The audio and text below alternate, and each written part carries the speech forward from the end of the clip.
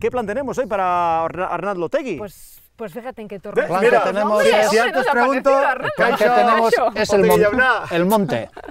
Pues nos vamos al para ir al monte. monte. Cuéntame que la mitad, si nos vamos al monte Arnaldo. ¿Por qué a los vascos nos tira tanto ir al monte? Porque ha sido buena parte de nuestro refugio durante muchas épocas que hemos pasado en este país. Y hemos encontrado siempre la libertad en el monte. Yo creo que es por eso. Un pequeño detalle. Sí. ¿Dónde está el Sasquilla, el cestiño para las setas? No ¿O qué hay se- pasa? no hay, no hay, Espera, no hay, no, no, no. no Co- hay. Como es un monte guipuzcoano, este que somos navarros, claro, si fuera un monte de Navarra irías a robar Bueno, a buena seta. No, pero nosotros, Dime la verdad. nosotros no robamos las setas. Nosotros vamos a Nafarroa a coger setas y a cambio vosotros nos destrozáis todas las Las aceras de. Zarauz Ah, sí, porque no os sí, quitáis sí, las herraduras sí. para ir a las playas. Sí, vale. Eso vale, vale. los navarros. Corramos un tupido velo, corramos un tupido velo.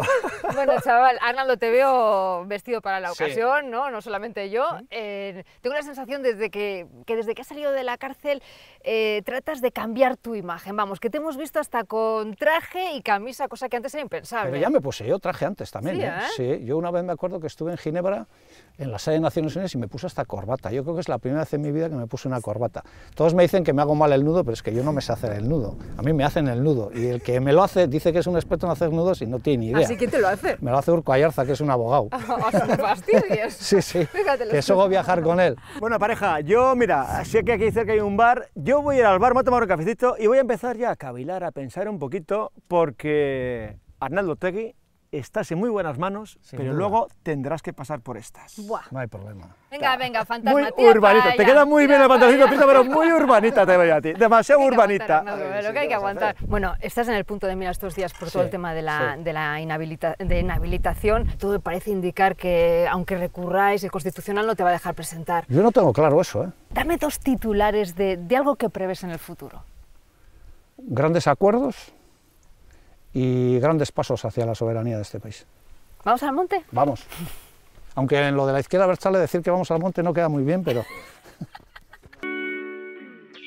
Así que cada vez que puedes, Arnaldo, te escapas al monte, a respirar aire puro. Sí. ¿Dónde estamos exactamente? Cuéntame, ¿y ¿por qué has elegido este monte? pues estamos ahora en el inicio del camino que nos lleva a Isarraitz. Ese es el monte Erlo y es una zona preciosa. Está entre lo que es el Goibar Azcoitia y Azpeitia.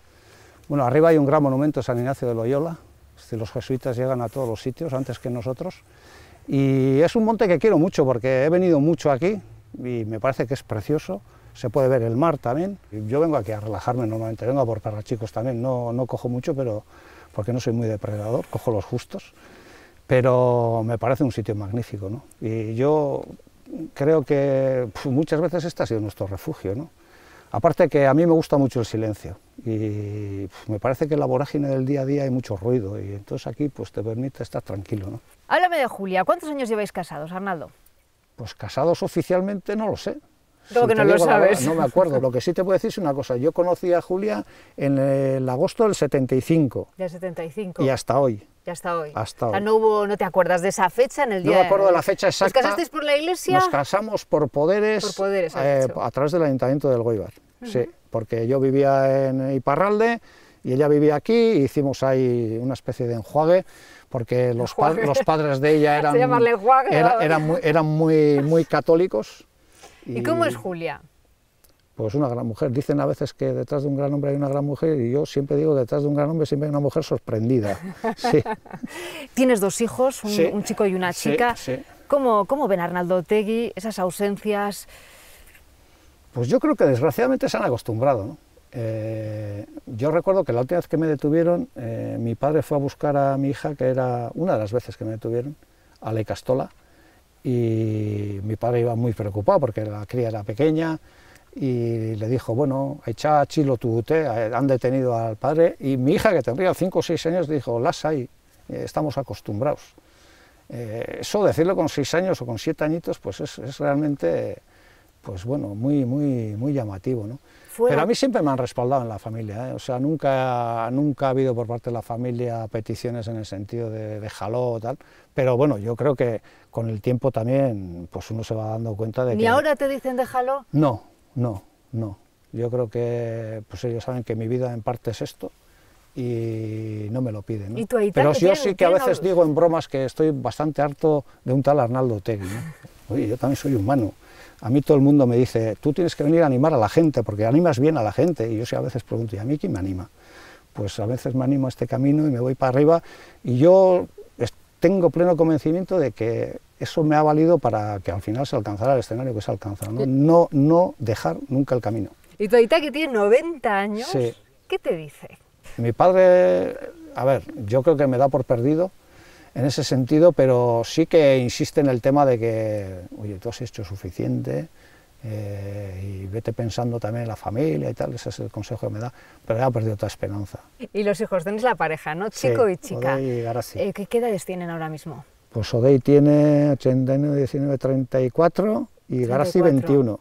Y bueno, ellos también están atraídos por el mundo de la política. Más él que ella. Tu hijo, te iba a Sí, decir. más ¿Quién él es que se parece más a ti, él o ella? Pues yo creo que a su manera los dos, ¿no? Los dos son muy sensibles. Eh, somos de llorar fácil, somos de emocionarnos fácil, pero yo creo que los dos a su manera se parecen, ¿no? ¿Y si te hubiese salido un hijo anti-Abertzale? Pues habría flipado. habría flipado, pero ¿Qué, bueno, qué- qué- qué hubieses hecho? pues tratar de convencerle de que estaba equivocado. Totalmente, Pero tú, bueno, R que R, ¿no? pero bueno, O sea, que, yo- si yo- tuvieras que darle un único consejo, ¿qué le dirías? disfruta la vida. Disfruta la vida, sé feliz y sé sobre todo muy tolerante. Respeta a la gente, nada más. Bueno, ¿y hay discusiones políticas en casa? ¿Qué va? ¿Qué va? Para nada. Y además ya te vale, estamos en el monte. Vamos a dejar de hacer Mira preguntas y vamos al monte. Arnaldo, vamos a En el monte estamos al monte. Bueno, es sí, como el chiste de los roles y las setas. ¿Qué sensación de libertad, Arnaldo? Imagino que, que, bueno, pues que lo habrás echado de menos, ¿no? En los últimos seis años y medio. Pues sí, en la cárcel se echa de menos el monte y el mar, curiosamente. ¿Cómo es la cárcel? Pues me han hecho muchas veces esa pregunta y siempre tenía dificultades para explicarlo, ¿no? Pues yo me levantaba a las siete y media de la mañana, pasaba el recuento, que el recuento es, bueno, que abre el funcionario de la celda para ver si estás, si no estás o si estás bien. Mientras yo he estado en la cárcel de Logroño han encontrado dos personas muertas, que eso es algo duro, una porque se suicidó y la otra porque era diabético y tuvo un problema por la noche. Y en la cárcel, si por la noche te pasa algo, tú allí te quedas, eso, eso no, tiene, no tiene vuelta atrás. Y luego desayunas, haces deporte, te duchas, hablas con la gente y luego nosotros en nuestro caso estudiamos por la tarde y eso es un día normal y todos los días son lo mismo. ¿no? La cárcel infantiliza mucho a la gente, se dan parchises, se dan estas cosas, pero es una especie de aparcadero allí de gente que está todo el día no haciendo nada. Entonces luego se habla mucho de la reinserción y de que uno después tiene que salir y reintegrarse al mundo laboral, pero claro, si a uno le tienen allí 10 años, 8 años, en el caso de los presos sociales es evidente. Eh, jugando al parchís sin hacer absolutamente nada, le dejan dormir hasta las 12, pues poca disciplina va a tener. Pero tú como persona, ¿qué, qué- cómo era el Arnaldo que entró, el Arnaldo que, que salió? Eh, ¿Qué es lo que te ha aportado, si es que te ha aportado algo a ti estar encerrado durante seis años y medio? Yo creo que la cárcel te hace mejor persona y te hace entender los dramas de la gente y te hace, a mí por lo menos me sirvió para que mis convicciones se reforzaran, ¿no? porque en la cárcel no hay ricos, en la cárcel hay inmigrantes, hay gente pobre, hay gitanos, Bueno, Arnaldo, toca bajar. Sí. A ver, todo lo que hemos subido toca bajarlo. es. ¿Cómo llevar las bajadas? ¿Qué prefieres, las subidas o las bajadas? Es decir, que algunas veces a los políticos les cuesta mucho no decir hasta aquí he llegado, me bajo. Sí, y yo creo que es un país en el que no dimite nadie también, ¿no? Eh, pero no solo España, también Euskal Herria, aquí no dimite nadie, ¿no? Pero yo soy una persona que creo que estoy aquí todavía porque la gente me pide que esté aquí. Pero yo, igual me equivoco y algún día me sacan esta grabación, creo que no esperaré un día que todo el mundo me diga que me tenga que ir. Creo que tendré la inteligencia suficiente como para saber apartarme en el momento adecuado. Creo que falta tiempo para eso, pero yo creo que eso lo voy a hacer con la misma naturalidad que entré en política, dejaré la primera línea. La política no la voy a abandonar nunca, pero dejaré la primera línea de la política. Hay mucho ego, mucha vanidad, mucha ansia de poder en el mundo de, de la política, ¿no? Demasiado ego. Sí, yo siempre recuerdo una frase que siempre me ha gustado, ¿no? que dice sobre determinados políticos, demasiado ego para, tapo- para tan poco yo.